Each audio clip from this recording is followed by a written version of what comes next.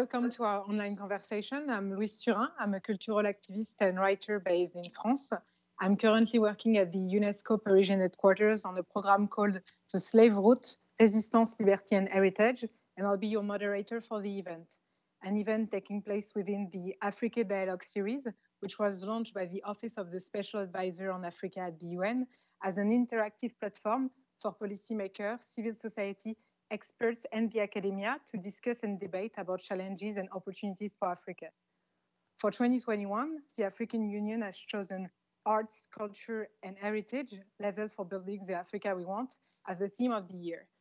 This is a theme anchored in Aspiration 5 of the United Nations Agenda 2063, which envisioned an Africa with a strong cultural identity, common heritage, shared values, and ethics.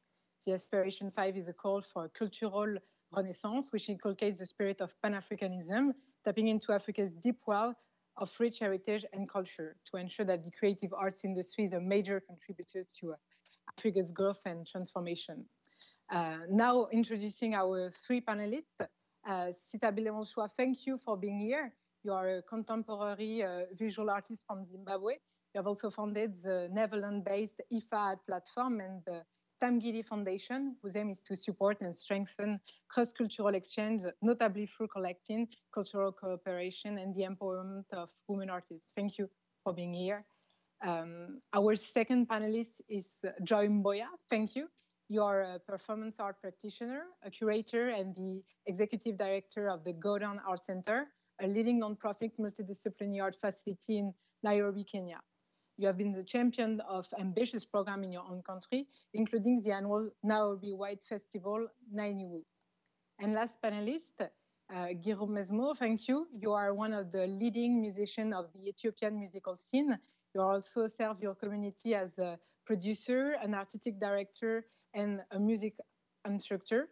Uh, you have also been working since uh, 2013 to develop uh, an African musical curriculum for the Music Global Academy, a Berlin-based school that teaches and celebrates non-Western musics. Uh, yeah, thank you all for having accepted uh, to take part in this conversation. Um, my first question will be for you, Sitabile.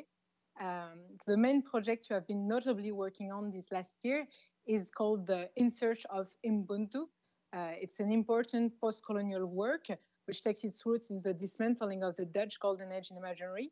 Uh, could you further introduce us to this project and uh, in which way do you think such works and cultural production can contribute to heal African people and Black diaspora from uh, their history in order to build a greater future to, to build up the Black world and the Africa we want?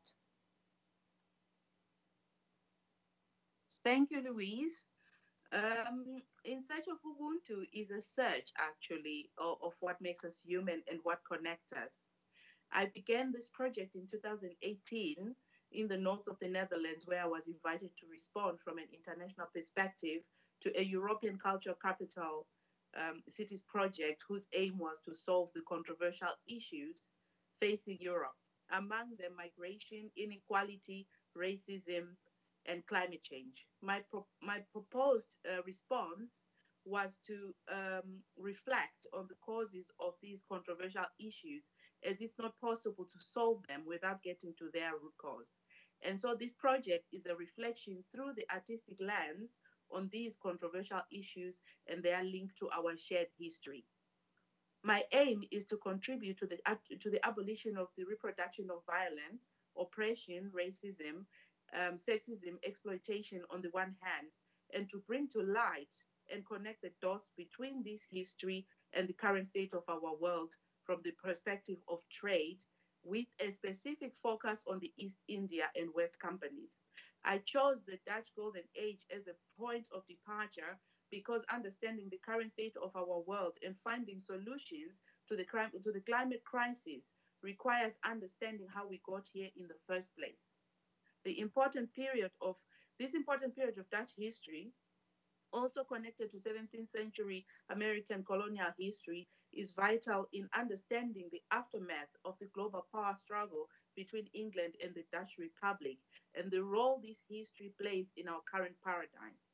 To answer your question um, about how this kind of project can contribute to healing African people and these diasporas from their history, I find it important to emphasize that this history is not only a history of Africans and the Black diaspora, it's a shared history of the colonizers and the colonized. The problem is that the, the, the history of the colonizer and its impact has till now been invisibilized, which in turn ushered our current paradigm, where we are all trapped in the reproduction of violence, meaning racism, inequality, sexism, oppression, um, and exploitation, and um, worst of all, the environmental degradation. And so the healing of the African peoples, its diasporas, and the building of, of the Africa we want is tied to this shared history.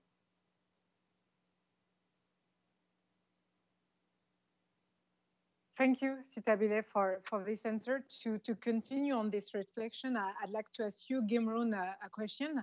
As a, as a jazz musician who obviously knows well and intimately the, the healing properties of music, in which ways do you think communities can uh, leverage on arts and culture uh, and heritage to build sustainable peace? Uh, how is your practice and engagement uh, through the year in a, the 10 spans of Ethiopia promoting uh, uh, inter-community dialogue.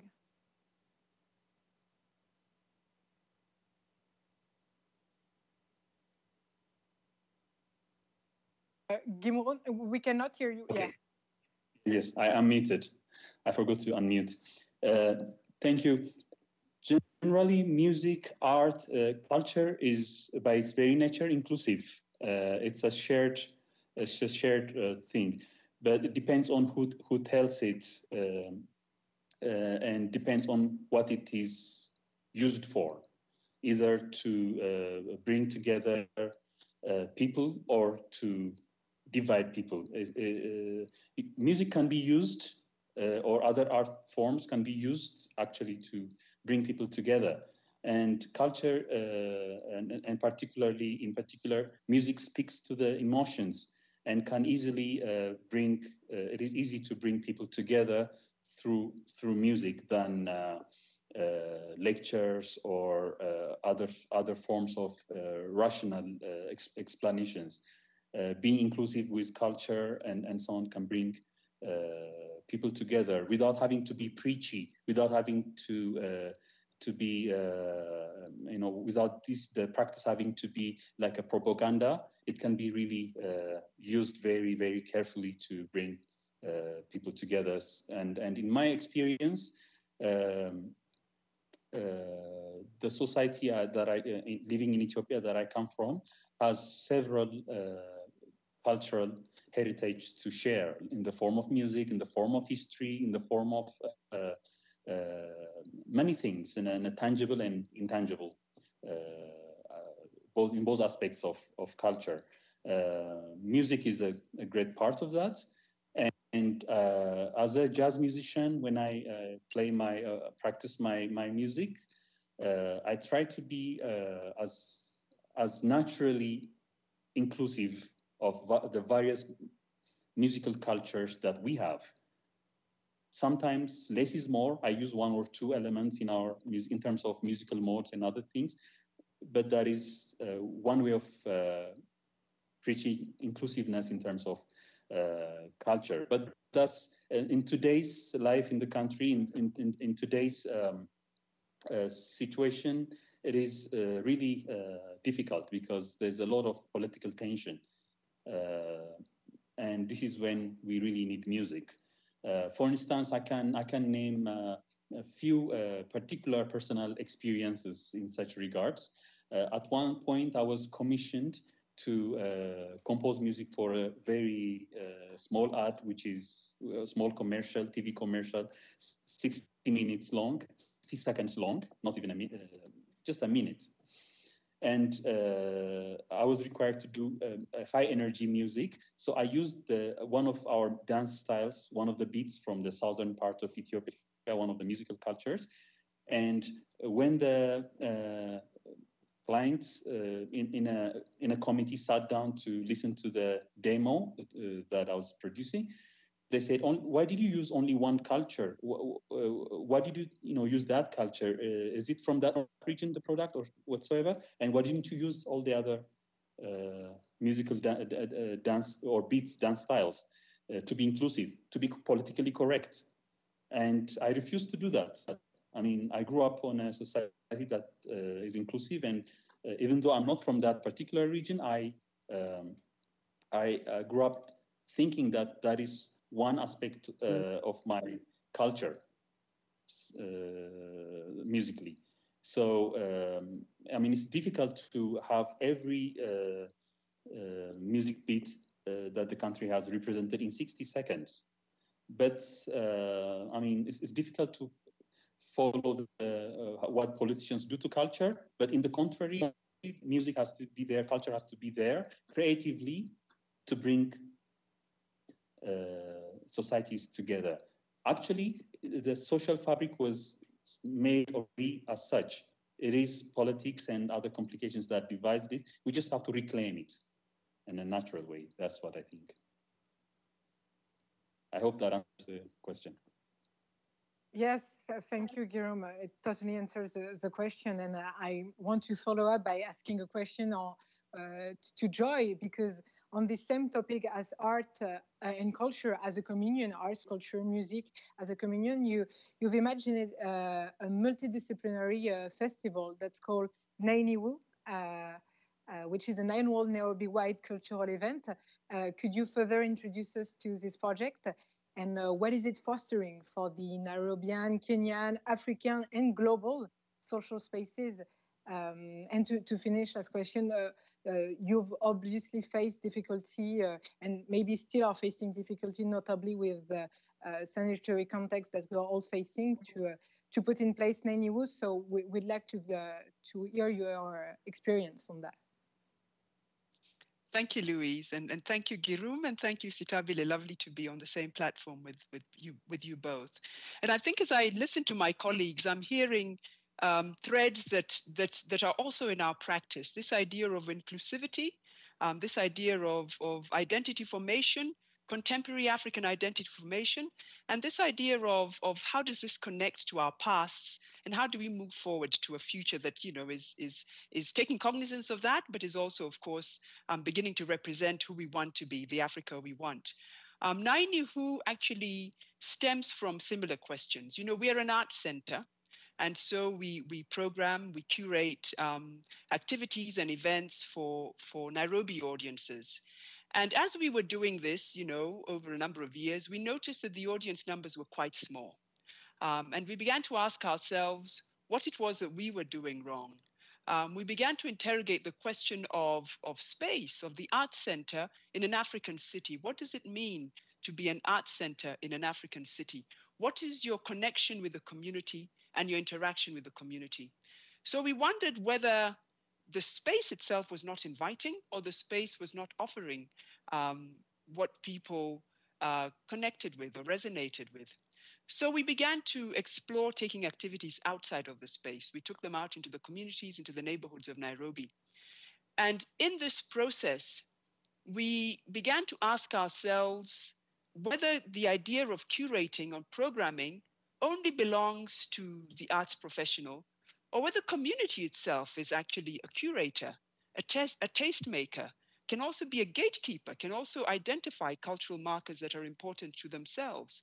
So Nainiwu is an experiment and a festival that invites ordinary residents of a neighborhood in Nairobi to begin to identify for themselves those cultural markers that they would celebrate as as points of identity within the Nairobi space and to invite others to come and, and, and celebrate that with them. Um, and in this process, we begin to understand as an art space um, things that we could not have imagined because, of course, we, we cannot see through the lens of the audience all the time. But I think the other thing that comes out of this sort of exploration is really appreciating the city itself as a cultural entity, as a cultural experience, and in that process, questions come up questions of inclusivity, questions of identity and belonging, questions of ownership, questions of, of cultural taste, um, questions of, of, of who, who, who, who includes and who excludes. Um, so this festival is really about that, and it helps us to begin to think about our role um, as an art space in relation to community. Now, in terms of what this means, I think for, for the region and for the, for the global, I think it's really beginning to project different ways of, of engaging with community. When I look at Western practice, for example, you know, there are established institutions, museums and, and, and art centers where you have established curators and canons and practices that work in a particular way. And I think that Africa can begin to show other ways and other options where community and art can engage, um, that it doesn't always have to be in the space that is called the museum. It doesn't have to be in the auditorium that is enclosed, but there's other ways in which you can engage. And there's other ways in which you can, you, you can begin to program and curate spaces. I think that the, the, the difficulty, there's not a difficulty per se. In fact, it's, it's an interesting, it's an interesting um, framework because by inviting people to engage in creating the program, you're actually reducing some of the questions that would be problematic for you as an art center, which is questions of cost, um, questions of inclusivity, questions of timing and programming. All of this is left to the community itself. So if they want to program something in the night, that's when it will happen. If they want to do it on a Saturday morning, that's when it will happen. So it actually opens up a lot more possibility um, for, for community.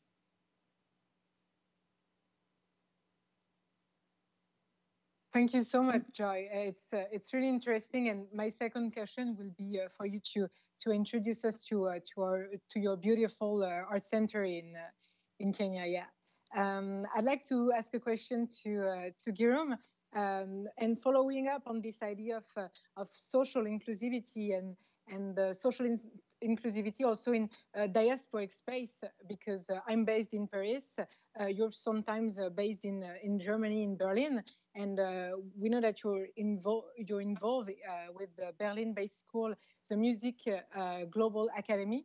Um, so you're um, you'll tell us that you are um, involved as a as a teacher there and, the, and as a curriculum starter because you are actually doing a very interesting uh, uh, program, um, which is uh, which is developing an African music curriculum for for students, but also de developing one so it be one of the first and could be replicated and and also integrated in all the school.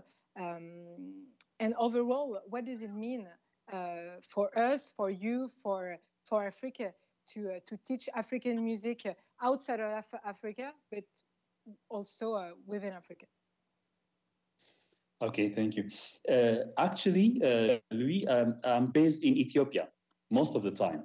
Uh, although I, music takes me around uh, and that I get to tour uh, and work a lot with the German-based Global Music Academy, I, my base is in, in Addis Ababa. I'm active in the music scene, teaching here as well.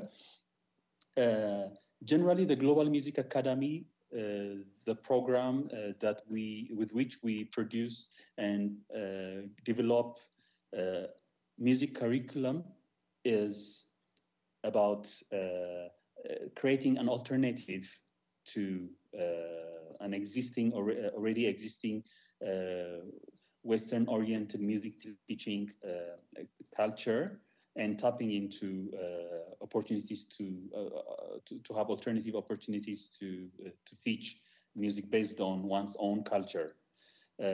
when you come to Africa, we we don't have such music teaching culture, but through oral tradition and through practice, uh, that's also one valid form of uh, teaching. We have uh, our music going on from generation to uh, generation. Uh, and uh, because because of um, uh, history, we, uh, we, we we take a lot of the Western methodology, well cultivated for centuries, of course, for th uh, the classical, the Western classical music methodology of teaching has been de developing itself for the past 300 to 400 centuries. Uh, and it has found a very methodical uh, manner. But does that work for African music? Is it fair to teach uh, African music through that medium only? We need to have alternatives. Uh, but still we can use that as an element to, to communicate. That's the idea. And uh, the Global Music Academy uh, develops curriculums uh, based on uh, African musical examples, local examples, just teach, teaching the skills with local uh, elements that people grew up with, that African people in their respective places understand culturally and, and, and in many ways. So um, when we do that, there are challenges uh, actually uh, because uh, students the youth is quite used to and quite exposed to Western culture and uh, teaching with local culture, uh, lo local elements uh, sometimes happens to be a challenge. that's one one challenge when, that we face, and the other is also also the content. A lot of the African youth today doesn't have uh, its own content a lot. Some uh, when you talk to the young, they know a lot of the Western-oriented uh, musical pieces than they know of their own culture.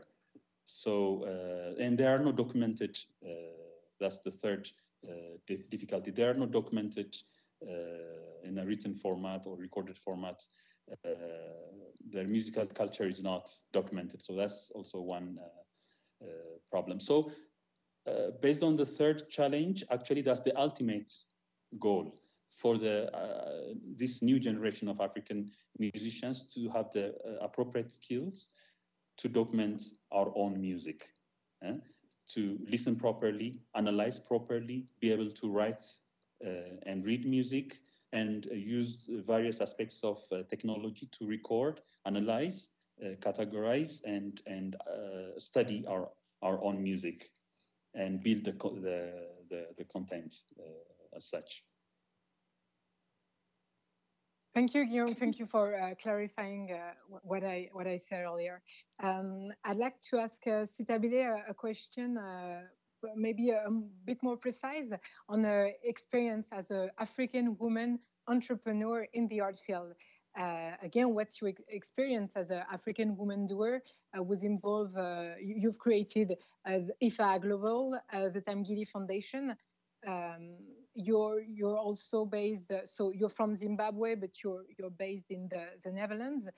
how is your experience in Africa? Is is different from your experience in Europe as an African woman doer? And eventually, what do you want to see change for the better? Thank you, Louise. Um, when I lived in Zimbabwe, um, I was a renowned artist. The world came to me to buy my work, and I had international claim. But when I moved to Europe, I became exotic. I could not exhibit in contemporary art galleries and museums because I fell under the category African art, which, um, um by the way, does not exist. And since my work did not look African, um, I had challenges continuing uh, my practice. And this is why I started the Tamgidi Foundation with the purpose of giving voice to artists from Africa and these diasporas in the first place, but especially to women artists as they are undervalued and marginalized. When I discovered that artists who came to the Netherlands through my foundation also had similar challenges, I then created the IFA Art platform um, as an alternative to countering institutional misrepresentation. And so, what I'd like to see change for the better is the removal of the colonial misrepresentation of Africa's cultural industries, meaning African art, African music, African dance, as this does not exist. Congo alone has more than 200 cultures. How can this be presented under the banner of African art or African culture? We know of Italian, Dutch, French cuisine, and we also know of Italian design. But what do we know of Congolese or Nigerian cuisine or Congolese design? The African continent is diverse and very rich. It's time we present the diversity by rebranding Africa's cultural industries because at the moment we are speaking of ourselves and of our diverse cultures and its wealth under the box of African everything. And as long as we do that, it is a huge challenge for for for for for engaging with the rest of the world because from the Western perspective, as an artist based here and as a curator, um, it's it's artists are, are, under the brand African art are undervalued and the value of the work is less. And any student who goes to to to the art academy here of, of a student of color and it can be a student, for example, from the Dutch colonies, they're all advised not to produce African art. And so there is a problem there. And there is where we need to begin to change how we present ourselves because the, the um, art from the African continent in the past was not seen like that. Art began with a spoon and ended with a sculpture, and it was the same art. So, how can we re, uh, re, re, rebrand this, and how can we present this now in our in our in our um, effort to rebrand or, or to to you know to reinvent our identity. Thank you, Louise. Thank you, Sitabile. Um, well, Joy, you've also founded your, your own facility as uh, as Sitabile uh, with uh, with Hans. Uh, yours is called the Godown Art Center in uh, Nairobi. Uh, are it's you've said a bit earlier, but again, whether it's present, but also you'll tell us future activities because you have the project of new space being big up as as we speak. what is your vision for the new space? and also in which area can governments, your government, can uh, can support African entrepreneurs and organizations like, like yours, cultural organizations like yours that want to, to be created or expand? No, thank you, thank you. Um, I think that again, you know, it seems that we're grappling with this idea of how does contemporary Africa emerge and become recognized? And the idea of creating the art center is not about a new art center. It's actually about the evolution of a practice from something that starts off because international funders are giving it money to something that is now saying, no, that is good, that helped, but it needs to root at home and it needs to be supported from home. So, how do we begin to imagine an African cultural infrastructure that has endogenous roots, that has roots right here at home. So that is where this idea of, of um, the so-called new art center is coming from. You know, when we began to think about this question, we recognized that the last time that Kenya invested intentionally in cultural infrastructure was when it was a colony, which is a shame. Kenya is now coming to its 60th anniversary in 2023. And we have not put down roots that begin to project who we are in bricks and mortar as contemporary um, nations through our arts and through our culture. So the idea of the Art Center is to really cement that. So it's the idea of how does civic scale cultural infrastructure sit in the city, but more importantly, how is it created? So the process for us of arriving at the design of the new art center has been participatory. What do people want to see? What does it mean for them? What should it have in there? So that is the community. And then what do artists need? What kind of spaces do they require? How do they want to interact with visitors? How do they want to show their work? That is a conversation that happens in there. But then the other big conversation, of course, that is happening in African cities is the whole question of how do we design and develop our cities? How do we create sustainable cities? And what is the role of cultural infrastructure in the creation of sustainable cities? So this new art center, or this evolution of the art center, has been engaging these questions at all of these layers. The question of community and providing community space and public space, the question of the artist and providing workspaces, spaces of interaction and audiences, spaces of becoming entrepreneurs. And then, of course, the question of the city, sustainable urban living through uh, cultural infrastructure that speaks to the context, that speaks to sustainability. So, what we need from government is actually the recognition of exactly this. And fortunately for us, the journey has been a long one. It's been 10 years. And in that process, we have very intentionally engaged city officials, county governance, national governance, because we say that we're all part of this conversation. It has to be a multi stakeholder approach, and the public sector and the government has to be in there. So, some of the things that we're looking at with government is, of course, how do you recognize spaces like this that are for public good, that are for public purpose? What does that mean in terms of legislation? What does that mean in terms of tax waivers? What does that mean in terms of partnerships with the government? So these are the these are the questions that we're navigating with with government right now. But we're very excited around the whole process of bringing in a diversity of stakeholders and bringing their voices and their insights and their thinking into shaping and developing a civic scale African space.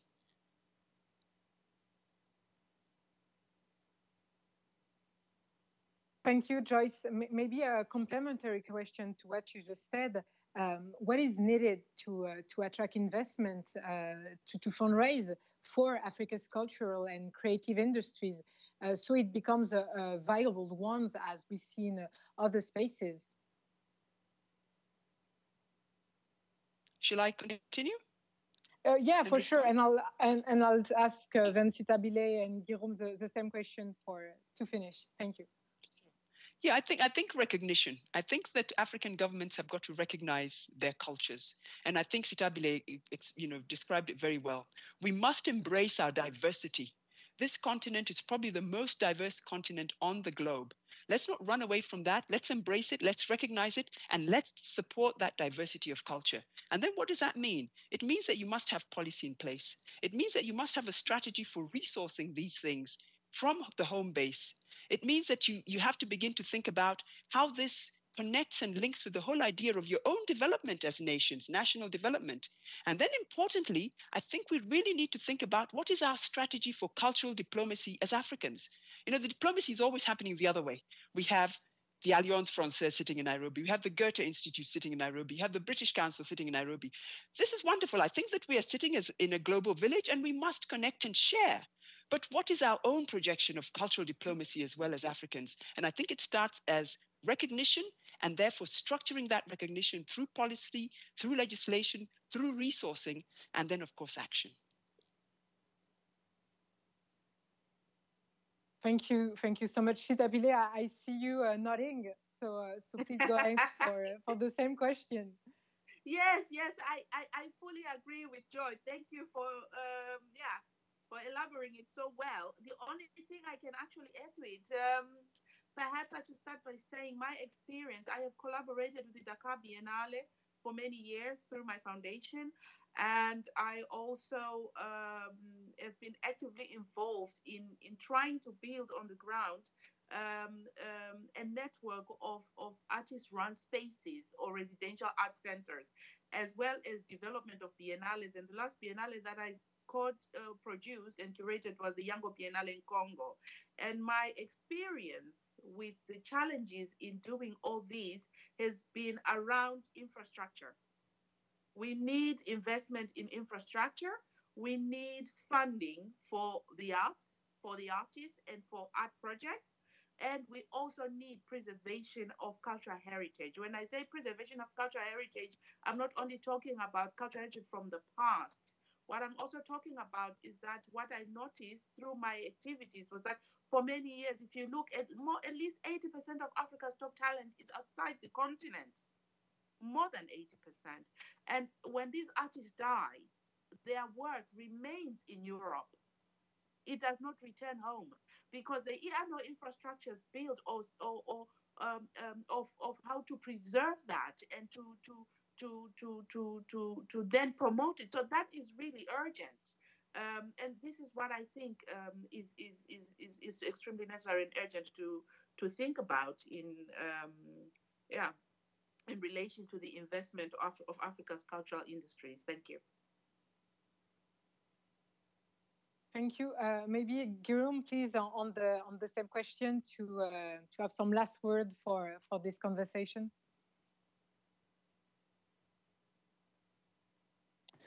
Thanks, Louis. It's well said by Joe and Sithabile. Uh, reflecting on uh, what is uh, happening in my hometown, uh, Ethiopia, Addis Ababa, uh, because of political tensions, uh, the, the efforts are more regional now than countrywide, like asserting our own um, regional cultures along ethnic lines. And uh, there has to be uh, a, a collaborative, if, uh, for a huge thing to happen, there has to be a co collaborative effect with all the stakeholders, the government being uh, the biggest in this. And there are several individual uh, efforts like cultural centers uh, with individuals trying to integrate a lot of the art forms, poetry, music, paintings, visual arts. Some people do that from a, a very personal initiative, but that's not enough and we, uh, to, to be able to uh, assert and uh, present our ourselves for other nations, present our cultural philosophy, our own African cultural philosophy, uh, our philosophy of modernity.